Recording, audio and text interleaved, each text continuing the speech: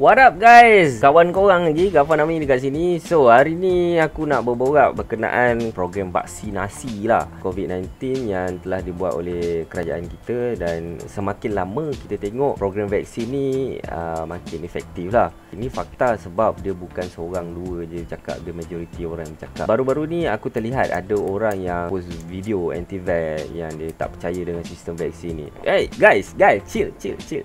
Korang jangan cepat melenting. Korang kena faham dulu dia orang punya kiblat Belief dia orang Sistem kepercayaan dia orang terhadap vaksin ni. Kita sebagai orang yang terpelajar Kita jangan jangan bergaduh Bahkan perbezaan pendapat macam ni. Jangan jangan jangan jangan.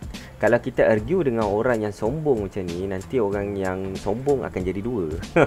So uh, cerita dia Kalau korang berdebat dengan orang anti vaksin ni Kita tak payah bagi kita punya fakta.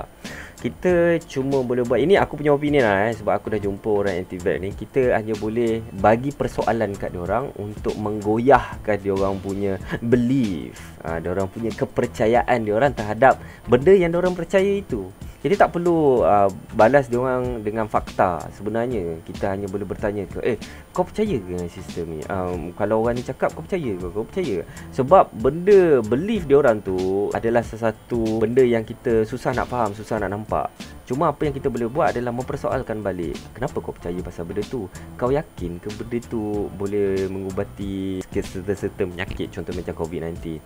Dan pada korang yang concern berkenaan dengan COVID-19 ni, don't worry, Perubahan Takaful full. Ada uh, plan yang mana kita dah dah jalankan sekarang ni post vaccination punya benefit. Iaitu kalau korang dah suntik first dose ataupun second dose ada masalah simptom yang teruk masuk je hospital kita boleh claim lah. Eh, itu Pro BSN bagilah. Dan aku sebagai consultant takaful aku advise korang untuk take up this point take up this benefit. Jangan risau Pro BSN takaful juga ada menyediakan plan perlindungan untuk uh, mengcover je mengcover orang yang dimasukkan ke hospital disebabkan COVID-19 ni. Don't worry, kita ada plan untuk tu juga. Just but anyhow, kau boleh tanya aku je, let's say kalau kau nak tahu apa-apa plan takafu daripada perubahan yang merangkumi kau punya bajet ke especially keperluan kau orang ke, kau boleh just PM aku, DM aku, WhatsApp aku, voice note, komen kat bawah. Anytime on social media, aku sedia maklum untuk mendengar keluhan dan korang punya pendapat lah. Jangan risau Ada sinar di hujung terowong Korang kena percaya je Apa yang orang bijak pandai tengah buat sekarang ni. Aku tak nak komen berkenaan dengan politik Sebab to me kita tak boleh nak buat apa. Politik is not our control anymore.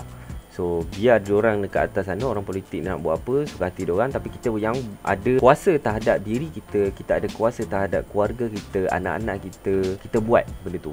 Ha, Salah satunya ikhtiar lah dengan Adita Kafu sendiri